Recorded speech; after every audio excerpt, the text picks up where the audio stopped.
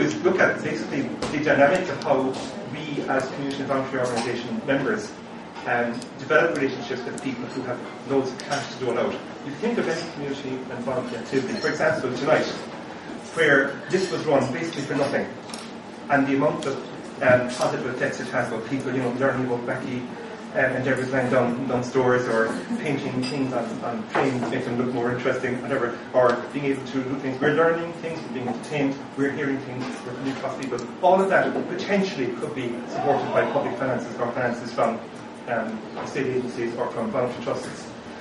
I'm going to look at why the funding relationship works well and when it doesn't work well. And I'm starting off with the idea of funding application being a cycle. It should start with an idea proceed with the search for cash and end with the voluntary or community of getting that money and spending it. The reality is that when we look for money, we are in a funk, we are in a panic, we have to get money in to pay for a certain thing, either a capital cost or something that's going to cost money year after year. And how we get money together to do the things we want to do, that we support and we believe in, is really an art that needs to be pursued. So my first idea is that you have to have an idea. It has to be a great idea all the dull ones have been tried and funded, and they're already, been funded. You're competing with people who already are doing what you were setting out to do. It would be very important that it's an idea that affects what you do as an organisation. And it's a good thing for organisations anyway to sit down and develop new ideas for things that might happen in the future. The um, value of doing that is that if you look back at your aims as an organisation, oh, this isn't so too preachy, God, sounds like a sermon on Sunday, but I'll continue as I started. Um, if you go back and look at your aims as an organisation and dream up projects that could happen, and if you believe that the funding will come for, for it at some time, you're going to end up with ideas in the can. And your idea, this, the, idea, the guy who had this idea, he probably was told you're wasting wood. You know, what's this round thing you want to develop? You know, wheel, not never take on. The most good ideas, most great ideas have that initial reaction people resist new ideas because they haven't been followed before. There's a certain amount of resentment, might be a bit of jealousy, there might be kind of thing, oh, who the flip do you think you are? So new ideas, if they reflect what you are as an organisation, can energize your organisation and can attract the kind of money that you're looking for. The second rule that I would up is that we need to know everything about money. We need to know who has it, where it is, how much money people have to get, why they give it. You must understand that when funding is given, there's always an agenda money is almost never given selflessly. The people who give it want something to happen that reflects back on, on them. I think you need to be careful about how you match your organisation with the funding agency you're looking for money from. You don't want to be looking for money from sources which will change your reputation. You don't want another organisation to bask in the glory of your successes. You don't want to give credibility to the types of organisations that you don't that you wouldn't donate money to yourself. So having a harmonious relationship with the people who are going to fund you is something that's going to be of benefit to you in the long term. And money, I think, genuinely does grow on trees in the sense that even in these times of incredible recessionary pressures, the only shortage is of good ideas. Money will follow the ideas if they're put together fluently and if the people really believe in what they're uh, the ideas that they're trying to um, get turned into actions. So my third rule is basically to be good at pushing together funding packages, being able to foresee predict how much money this thing will cost, be able to imagine what's going to uh, be subject to unforeseeable changes, and be able to give genuine figures. For example, if you're employing a fifth staff person, you don't say, actually, I have to cost another 50 euros in phone bills. You get a quarter of the existing phone bill. Well, multiply that by 50, and you know, you know maths, and you know. And you also have to be able to say to people who are looking at your funding, how did you get to that figure?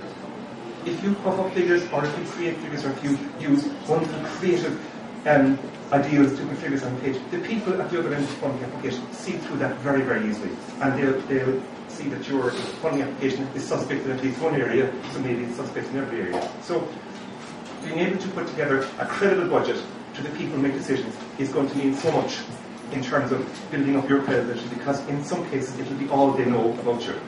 So the next rule that I've got to say is, to it around in time, is that people who are giving out the money know an awful lot less about what you're doing than you do.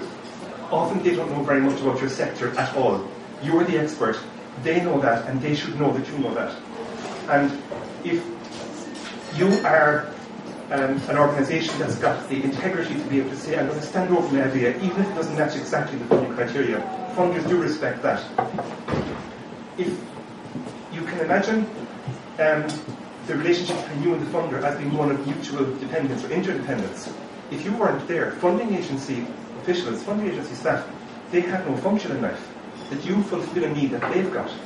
And if your funding application lands on their desk with all the boxes ticked and everything done in a way in which they don't have to make a decision, it means that your, your result, your success is already predicted. And I've chosen this slide because even though they may be richer than you and stronger than you, you can still play the same rules. And in this I picked it because the little guy fastest pointing towards us has got enough self-respect to take on this hulk of a brute to be able to take on. And that, in a way, the funding relationship, if it's built on that mutual respect, you will get much further in terms of convincing people who want to make the decision for your activity. Fifth rule I would say is that funding agencies like to get something in return, not just the money spent well. They're associated with an organisation that has the veneer of success, the veneer of, of positive experiences, people who are associated with the likes of him. And originally, when I clicked on that image, I thought of Johnny Depp. I looked twice, but I, when I thought of Phyllis, I leave him there. And people like Taoiseach, people like presidents, people like prime ministers, um, leaders in the world, economics, the arts, if they're associated with your organisation, it doesn't necessarily mean that you endorse them or their beliefs their positions, but the perception will be that they endorse you. And funders like that sense of security. Sixth rule I'd say is that when funders give you money, they're taking a gamble no matter how well structured you are, no matter how strong your history has been, they still might cock up laudably. So when they're taking a punt, it's as well for them to know that other people are taking a punt on you. So if you're looking for huge amounts of money to fund a certain activity, even if you've got a small amount from another source, that covers their ass in the event of things going belly up later on. So when you have money from one organisation, it's much, much easier to convince another organisation, look, they did it, they can't all be fools, so I can't you give a bit. And I'm thinking of one particular funding application for just over a million euro.